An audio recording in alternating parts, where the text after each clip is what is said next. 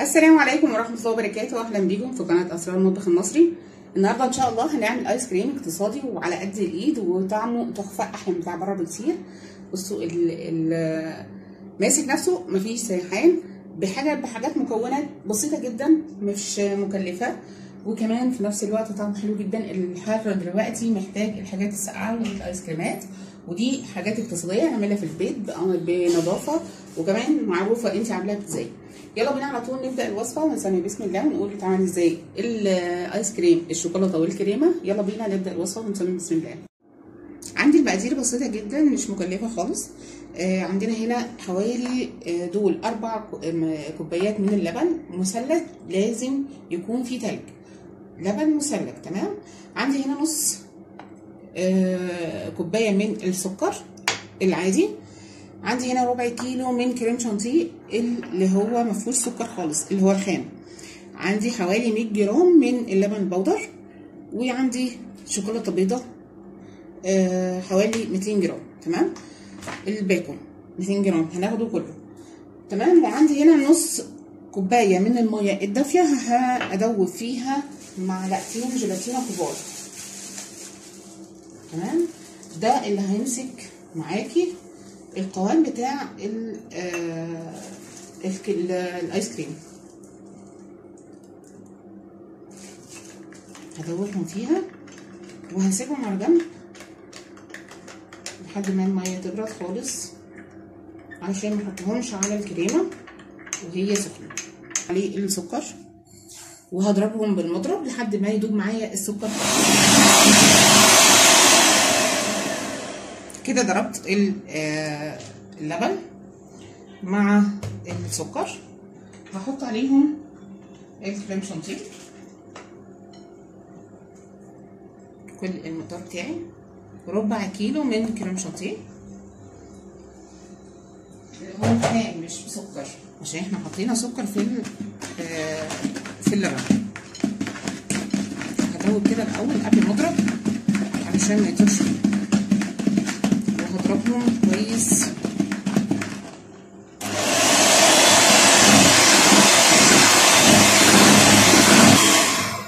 في المرحلة دي هحط اللبن بودر عندي كله. تمام. هنا هعوز لبن تاني. فهنجيب لبن ونحط كوباية كمان عشان المقدار. كل ما يكبر معاكي معاكي حطي لي لبن تاني. في المرحلة دي إحنا ضربنا الكريمة. عندي الجيلاتينا فيها كتل شوية صغيرين. هحاول أصفيها. بعد ما بردت خالص هنصفي بالمصفى الصغيرة ضيقة. الجيلاتينا بتاعتنا عشان ما يبقاش فيها تكتلات. تمام؟ وهنضرب الكريم مع هنا عندنا بقى الشوكولاتة البيضاء سيحتها وخدت منها شوية يعني قسمت النص يعني خدت نص أبيض ونص حطيت عليه كاكاو. ليه بقى أنا ما جبتش شوكولاتة دارك؟ علشان أنا حاسة إن الشوكولاته الدارك يعني فيها سنة مرارة شوية فهتخلي الآيس كريم معاكي مش مش حلو زي الشوكولاتة البيضاء وللأسف ما لقيتش شوكولاتة بالحليب كانت خلصانة ف إحنا نتصرف اهو صوص شوكولاته بني ضربتها الكميه كلها ف هقسم الكريمه وهنعمل نص بالابيض ونص بالشوكولاته الغامقه بصوا اهو القوام بتاعها اهو علشان ما تقوليش ان هي تقيله وهتخرز معاكي لا مش هتخرز خالص هتبقى عاديه جدا وهوريها لك برده وإحنا هنا قسمنا الكريمة نصين. هنا عندي الشوكولاتة البيضاء بقى ايس كريم ولا مكلف ولا تقولي لي بقى حليب مكثف. إحنا عملناه بكل الطرق عملته بالحليب المكثف وبالعادي وبكل حاجة. وبالكريمة اللباني. إحنا هنا ما استخدمناش كريمة لباني خالص. يعني مش مكلف. بالمرة. تمام؟ هضرب بقى الكريمة مع الشوكولاتة. الشوكولاتة البيضاء مع الكريمة. هنعمل بقى نحط الشوكولاتة الدارك اللي إحنا عملناها برضو في البيت مش هنجيب نوعين شوكولاتة. هي نوع واحد بس وهن آه نلعب فيه براحتنا بقى. أي لون عندك عايزة تحطيه مش شرط إن هو يكون كاكاو. ممكن تعمليها بالألوان كلها. في ألوان غذائية كتيرة جدا بتنفع للحلويات. فانت تجيبي الشوكولاتة البيضاء علشان تعملي فيها اللي انت عايزاه.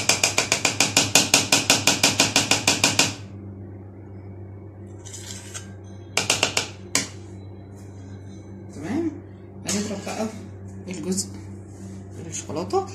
صح. ملحوظة عشان ما تقوليش إيه الشوكولاتة كانت سخنة. لا أنا عملتها على حمام مية آه على النار وبعد كده سبتها تبرد تماما. فأثناء ما هي بتبرد حطيت لها يعني قسمت نص الشوكولاتة. سيحت نص والنص التاني أنا معرفتش أصور معاكم الجزء ده معلش. آه سيحت نص الشوكولاتة والنص التاني حطيته بعد ما ساح الأولاني على النار علشان يسحب الحرارة بتاعه التسيح بتاع الشوكولاتة. ماشي؟ فلازم تكون باردة. لازم تكون باردة خالص على الكريمة قبل ما تحطيها عشان ما تخرج ما تعملش معاكي ما تسيحش كريمه معاكي.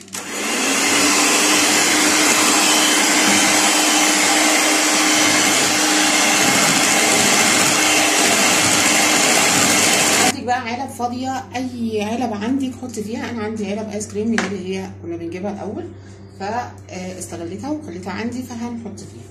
تمام؟ عندي حطيت كده في في الكيس عشان أعرف أتحكم في المستوى. هعمل نص شوكولاتة ونص بيضة.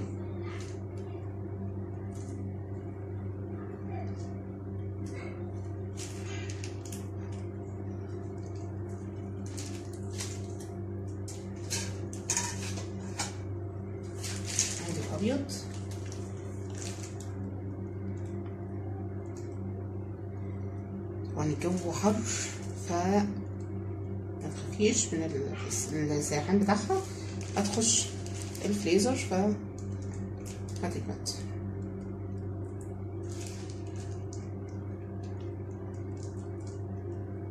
كده حطينا الكريمة هنزود شوكولاتة.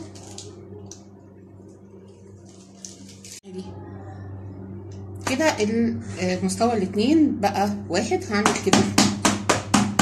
علشان لو في أي هوا جوه العلبة يطلع. بصوا بقى شكلها حلو جدا.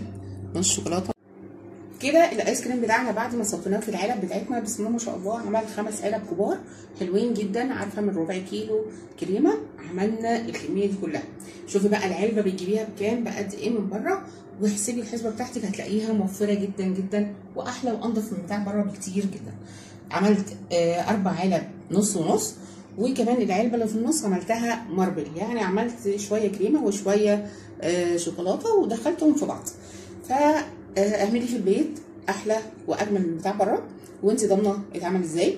وبعد كده الدنيا حر جدا فعايزة حاجة اقتصادية وحاجة سريعة اعملي الايس كريم ده وعلى ضمانتي طعمه 10 من 10 يا رب يكون نال اعجابكم الفيديو بتاع النهارده واستنوني فيديوهات أحلى واحلى ان شاء الله. بترككم في رعاية الله بس ما تنسوش like و share للفيديو وننزل نفعل الجرس عشان يوصلكم كل جديد من عندي. والسلام عليكم ورحمة الله وبركاته.